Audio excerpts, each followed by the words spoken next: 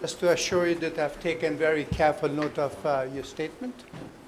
And uh, once again, I reiterate my commitment to very faithfully convey your sentiments and to inform the Secretary General as well as uh, the Security Council members of uh, the feelings, the emotions, and uh, the lingering concerns about the state of stability and calm in Liberia.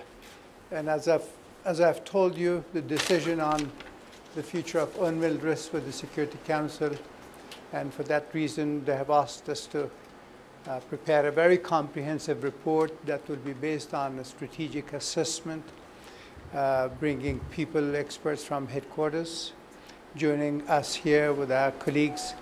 And in the course of their almost two weeks presence in September, they'll be looking at all issues pertinent to uh, overall security situation in Liberia.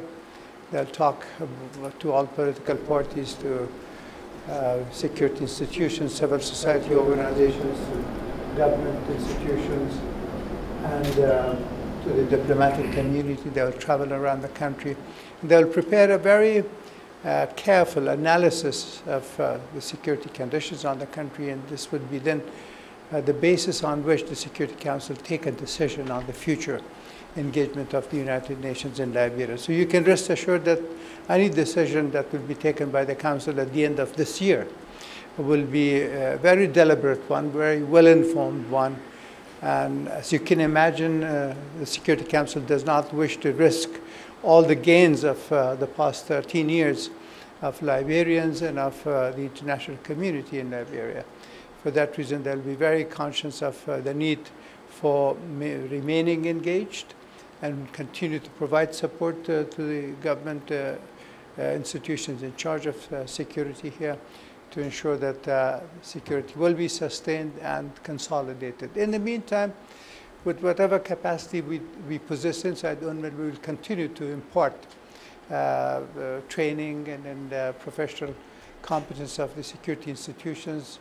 Uh, I just came back from a meeting of uh, Joint Implementation Group where the Minister of Justice was presiding and I'm one of the co-chairmen together with the the American ambassador, and a number of other key uh, supporters of uh, Liberia in the international community. We were talking about how we could sharpen our focus on critical issues that uh, matter to the security transition. And uh, we, of course, constantly are mindful of the gaps that still exist there.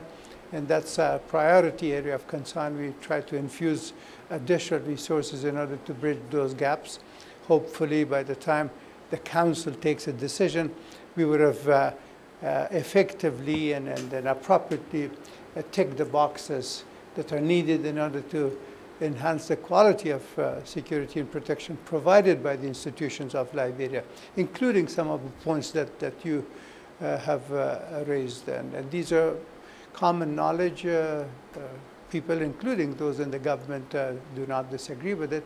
So we are joining hands in order to make sure that uh, when the council decides one way or the other, all the appropriate measures are in place uh, for the people in Liberia to feel confident and assured of their security.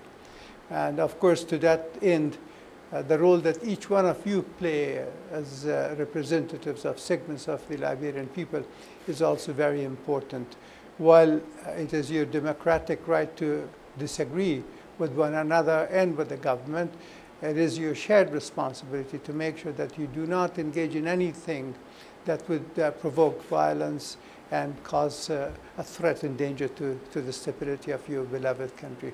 So thank you very much uh, and all the best to you. Uh,